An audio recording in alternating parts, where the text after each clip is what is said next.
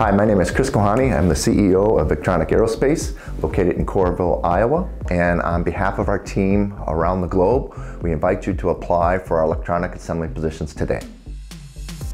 So what we do here at Vectronic is we assemble wildlife GPS tracking collars. These collars are put on animals all across the world.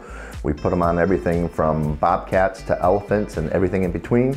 And our brand name is well recognized around the world as a leader in the telemetry manufacturer business. And we invite you to be a part of that and continue with our tight-knit team in developing these products that come out of this location. So our ideal applicant would be somebody that has very good mechanical skills, that has an electronics background, being able to assemble small parts and put them together, um, having the aptitudes to work with different pieces of equipment, putting, putting components together, ask good questions. Uh, when they come across a problem, they raise their hand and, and try and figure out why um, something's not working.